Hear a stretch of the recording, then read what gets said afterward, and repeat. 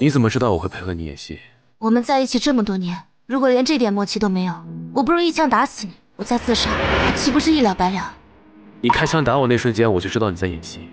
况且你是武圣的女儿，想要杀我根本躲不掉，我也不想。先不说这些，四下无人，你赶紧逃吧。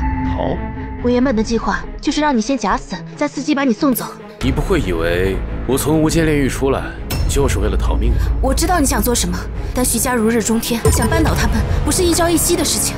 你先离开云京，我们日后再想办法。如今的云京世家对我而言不过蝼蚁，我已经让他们逍遥了三年，是时候该清算了。况且我让你等了三年，我不会再离开你了。王波，你真的有把握？你不信？好，你既然决定了，我这个做妻子的跟你并肩到底。